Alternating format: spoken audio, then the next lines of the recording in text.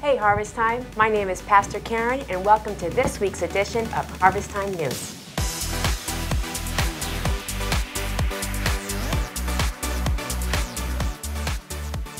If this is your first time with us, welcome. We're so glad that you've come, and we want to connect with you.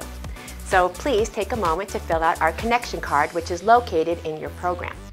On the back of this card is our prayer request form. And if you have any needs in your life, please fill it out and drop it in the offering baskets when they go by.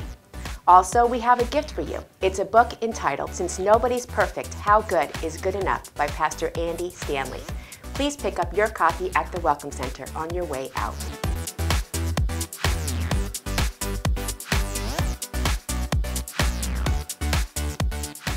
Monday night at 7.30 p.m., we have a course called Clean at the lower level.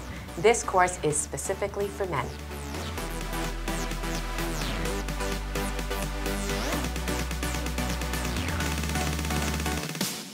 Our Thanksgiving Eve Eve service is this Tuesday at 7 p.m. in the sanctuary.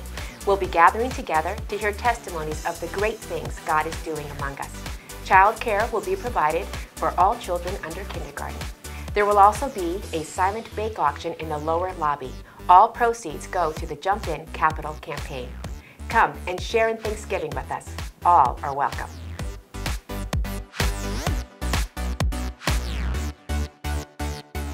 All other weekday events are postponed and will resume next week at their normal times. Would you like to be a part of this year's Christmas Eve choir? We'll be holding tryouts Sunday, December 1st after our third service at our Greenwich campus. If you're interested, please contact Elizabeth Kelly at elizabeth at htchurch.com. Also, join us on the 6th through the 8th of December as we celebrate our church's 30-year anniversary. Pastor David Wagner, Pastor Judy Shaw, and Pastor Tate and Patty will be joining us as well. Please visit the Welcome Center if you would like tickets to the brunch or the reception.